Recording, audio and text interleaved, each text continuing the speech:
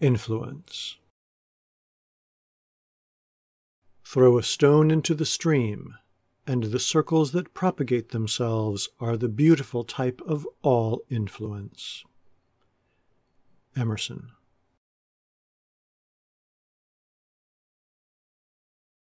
It requires but little knowledge of society and history to assure us of the strong, permeating, invisible influence upon society at large of any body of men of clear thought, strong conviction, and disciplined conduct.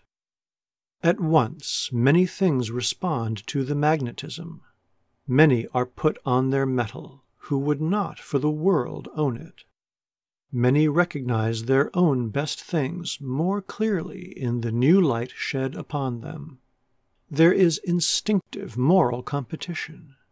Such influences travel fast and far.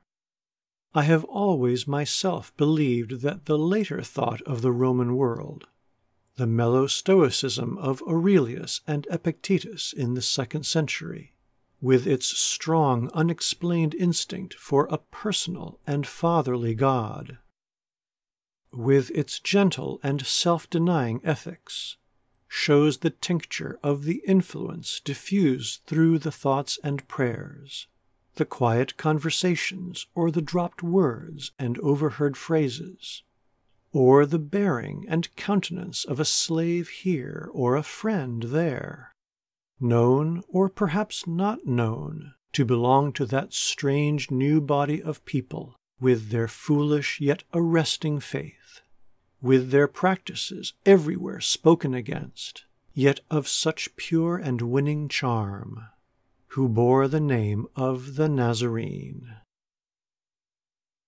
The Church's Failures and the Work of Christ. Bishop Talbot.